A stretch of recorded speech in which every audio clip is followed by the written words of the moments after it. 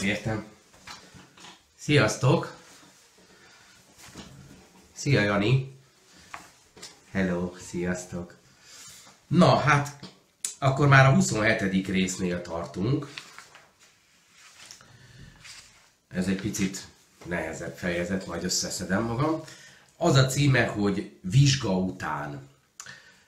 A mese pedig még mindig Lakner Artúr, Édes Mostoha című ifjúsági meseregénye. A boldog otthon vizsgájára Hargitai András elküldte tehát Ibolyát és Fricit. Az autó szágódva változott az országúton, amikor Frici egy felfújt papír zacskóval akkorát durantott a hátsó ülésen, hogy mindjárt meg voltak győződve róla, az egyik kerék kipukkadt. A sofőr nyomban megállt és megerősítette a szomorú tényt. Mire Ibolya kisasszony kijelentette, hogy ő akkor vonaton megy tovább. Az állomásra rázós parasztszekéren tette meg az utat, míg Frici és a sofőr a felesleges tehertől megszabadulva most már vidáman robogott tovább. Bocsánat. A leány intézet közben ünnepi díszt öltött. Az erkélyre ügyes kezek virágfüzért függesztettek, a tantermeket színes papírláncokkal, zöld gajjal és kerti virágokkal díszítették. Az ünneplőbe öltözött növendékek elfoglalták helyüket szabatosan, feleleg, felege, beregedege, megerezere. Ez egy nagyon érdekes mondat úgyhogy elolvasom még egyszer, mert biztos, hogy nem ez van ideírva.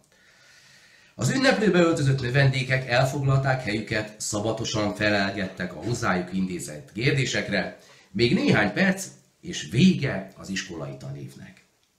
Délfelé aztán mindannyian felsorakoztak a parkban.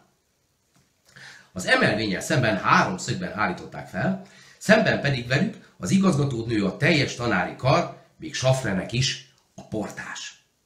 Éppen az álló ünnepély megkezdése előtt robogott be Frici, meg a sofőr.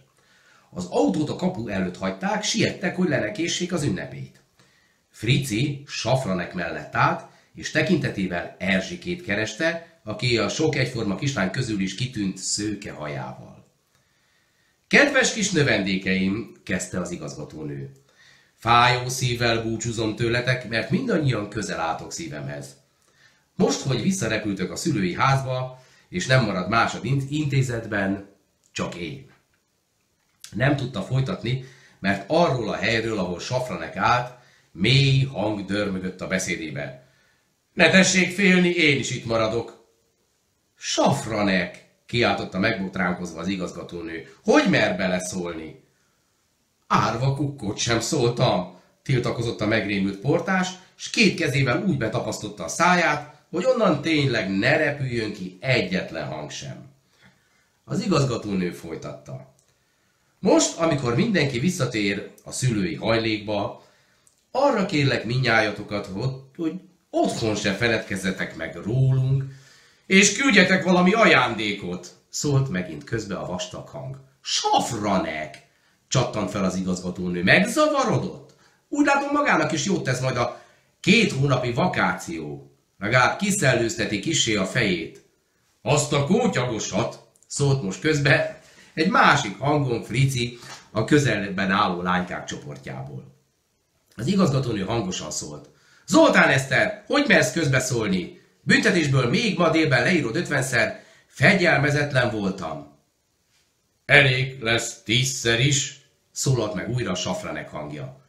Na hát, szólt felháborodva az igazgatónő, ami sok, az sok. Ha sok, legyen ötször. Safranek azonnal menjen innen, és nem mozduljon a kapu mellől, majd számolunk. Safranek szédülő fejjel kullogott el. Nem tudta megérteni, ki beszélt helyette, mert ahhoz elég józan volt, hogy megállapíthassa, egész idő alatt egyetlen szót sem szólt. Lüktető fejjel arra gondolt, hogy a szellemek űznek vele ostoba tréfát. Józan pillanataiban maga is tudta, hogy nincsenek szellemek, boszorkányok, de most mégsem tudta elképzelni, hogy ki is beszélt akkor helyette. Ki utánozta olyan megdöbbentő hűséggel a hangját? Az biztos, hogy ő egyetlen szót sem szólt, viszont maga körül egy lelket sem látott. A kislányok a beszéd befejezése után nagy zsivajjal futottak szét. Erzsike Frici felé rohant és a nyakába ugrott. Frici bácsi, tudta már, hogy maga tréfálta meg safra neked? Majd rendre tanítom én azt az árulkodó frátert, felelte rá a kertész. Erzsike türelmetlenül kérdezte. Ugye apuka is eljön? Nem, Erzsikém. Apukádnak Budapesten van dolga, de holnap már otthon lesz, és Ágóváron végre találkozol vele. És az új anyuka is ott lesz? kérdezte szorongva a kislány. Az új anyuka? Frici zavarodottan nézett körül. Persze, jutott eszébe, hisz Erzsike nem tudja, hogy azon a különös éjszakán az új anyuka is eltávozott a hargitai házból. De Mária néni ott állt a közelben, és fejével hevesen igent bólogatott. Frici ugyan nem értette, hogy miért kell neki azt mondani, hogy Erzsike mostohája is ott lesz, amikor az asszony úgy eltűnt, mint hogy a föld nyelte volna el. Mária néni akarata azonban parancs volt számára, és ezért nyomban megerősítette. Igen, az új anyuka is ott lesz. Légy hozzá kedvesebb, mint a múltkor, tette hozzá Mária néni. Megpróbálom, fogadkozott Erzsike, de csak akkor, ha a Mária néni is ott lesz. Ott leszek én is, ígérte Mária néni. Frici, akinek egyébként gyors volt az észjárása, most az egyszer nem értett ebből a beszélgetésből egy árva szót sem. Hogyan ígérheti meg Mária néni az új anyukát Erzsikének olyan bizonyosra?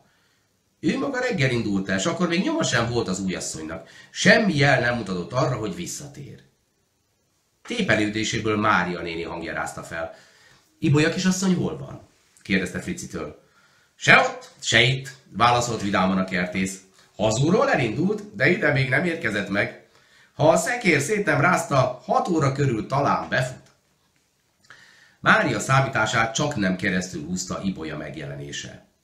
A hargitai kúrián Fricivel nem találkozott, amikor az emlékezetes születésnapon megjelent, mert a kertész a gyermekek között tartózkodott. Ibolya kisasszonyt azonban útjába vetette a sors. A vén kisasszony volt az, aki olyan mézes-mázos szavakkal fogadta a hargitai Andrásnét. Mária tehát joggal félt az idő előtti találkozástól, hisz az minden tervét felboríthatja. Félrehúzta Fricit, és így szólt hozzá. Frici bácsi, kérésem volna. Tessék csak parancsolni, felelte a kertész. Örülök, ha valamit tehetek a tanárnőért. Arra kérem, intézze úgy az ügyet, hogy Ibolya kisasszony az ünnepé alatt ne találkozzék velem. Érti? Semmi körülmények között ne találkozzék. Frici rögtön rávágta. Nem fognak találkozni. Az előadás, amint hallom, 5 órakor kezdődik. Ibolya kisasszony pedig csak 6 óra 10 perces vonattal érkezik. A későbbiekre gondom lesz. És amit Fuszújka Frigyes megígér, annak megvan az alapja. Frici egy percig sem töprengett azon, miért nem akar a tanárnő Ibolya kisasszonyjal találkozni. Természetesnek tartotta, hogy senki a világon nem akar azzal a kellemetlen személlyel érintkezni, és ezért már is szaladt Safranekhez, előre örülve annak, hogy újra borsot törhet a kellemetlen Ibolya orra alá. A portás ott ült a fülkéjében, és vizes borogatásokat rakott a fejére. A szerencsétlen ember még mindig szédült, és fogalma sem volt, hogy miért is űz vele a természet ilyen különös játékot.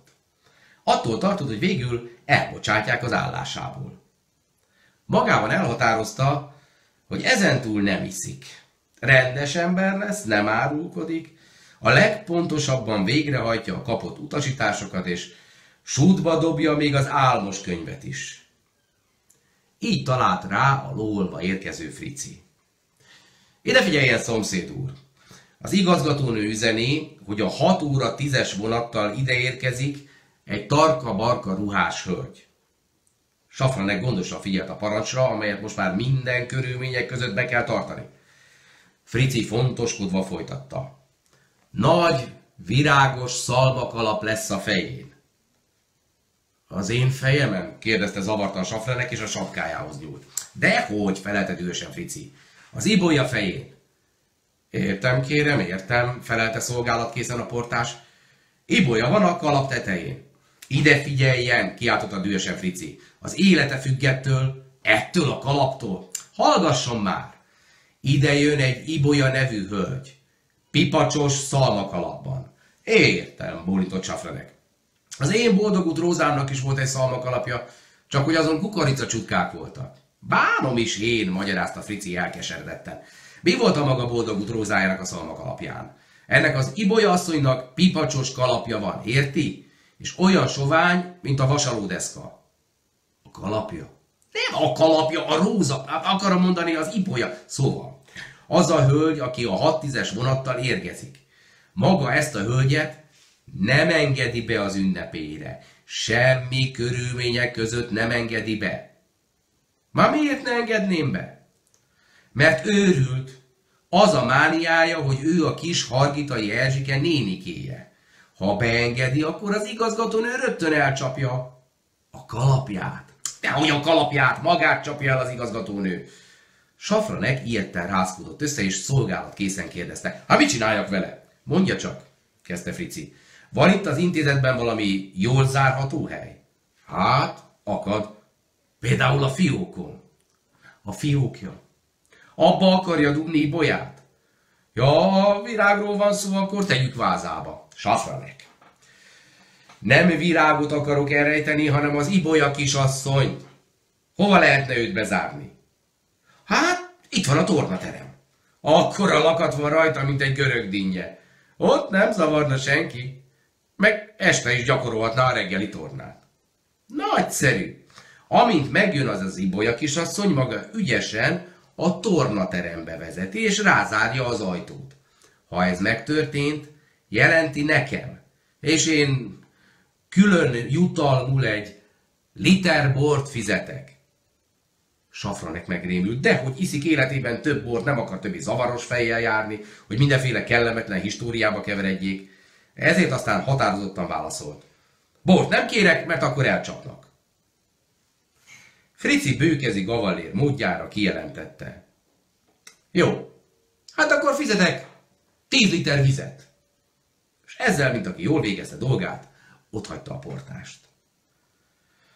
Safranek mélyen átérezte feladatának fontosságát, tudta, hogy ha pontosan hajtja végre, megerősítheti ingadozó állását, ezért aztán jól felkészült.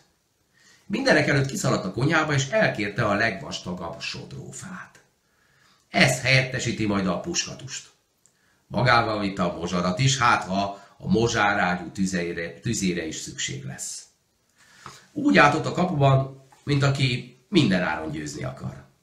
A sodrófát magához szorította, mint a katonatisztek kivont kardjukat. És húszszor is elmondta magában a leckét. A hat tízes vonattal érkezik egy szalmakalapos hölgy, akinek a neve Rezeda Rozmaring. Bárki lesz az illető, bármit mond, bármire hivatkozik, ő elkapja, és a tornaterembe cipeli. Aztán jelenti a dolgot Fricinek, aki bizonyára felterjeszti őt az igazgatónőhöz. Előléptetésre. Holnap ilyenkor talán már főportás lesz. Safranek erre a gondolatra kiúzta magát, és még komorabb képpel vizsgálta az érkezőket. Na, hát ez volt a 27. rész. A 28. rész, az a záró ünnepé, ez következik holnap. Megmutatom, hogy ebben még kották is vannak, de megígérem nektek, hogy nem fogok énekelni, csak a dalszöveget fogom felolvasni. Szerintem mindannyian jobban járunk. Tehát holnap jön a záró ünnepé, és aztán már nem sok van hátra, hogy a végére érjünk ennek a mesének, hiszen összesen 31 fejezetből, 31 részből áll. Tehát holnap várnak benneteket egy kicsit hosszabb történettel, ami a záró ünnepé lesz. Sziasztok!